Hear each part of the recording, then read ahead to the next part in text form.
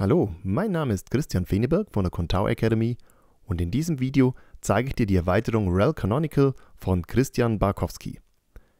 Diese Erweiterung fügt ein zusätzliches Header Tag hinzu, in dem du den Canonical Wert bestimmen kannst.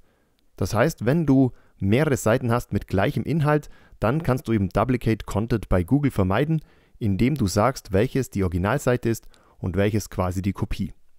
Auch hier gibt es einen Blogbeitrag noch dazu vom Entwickler selbst. Das heißt, hier kannst du auch nochmal alles durchlesen und ich möchte dir jetzt ganz kurz zeigen, wie du diese Erweiterung konfigurierst.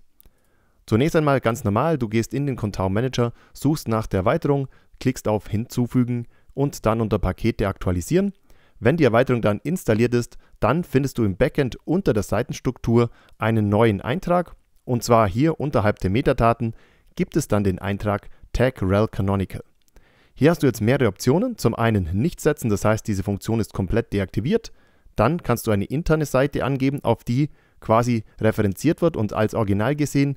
Externe Seiten kann man ebenfalls als Original setzen und du kannst diese aktuelle Seite als Original setzen. Nehmen wir an, ich hätte jetzt diese zwei Seiten, also Textelemente und Textelemente Kopie. Nehmen wir an, das wären jetzt zwei Landingpages, die möchte ich an unterschiedliche Zielgruppen ausspielen. Ich möchte aber, dass Google definitiv die erste Seite als Original ansieht und so Duplicate Content vermeiden. Das heißt, ich würde jetzt bei der Originalseite dann das Ganze hier so bearbeiten, dass ich das rel canonical Tag auf diese Seite setze. Anschließend speichere ich und ich würde bei der Kopie sagen, ich möchte die interne Seite als Original nutzen, das heißt interne Seite.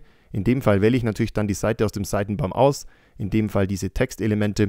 Und jetzt legt mir Contao einen Header-Meta-Tag an und sagt, was die Originalseite ist. Auch das möchte ich dir kurz zeigen.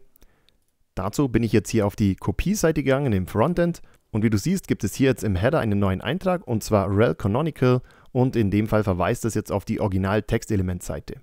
Damit weiß die Suchmaschine, bevorzugt jetzt Google, wie es mit diesen zwei Seiten umzugehen hat und welches die Originalseite ist.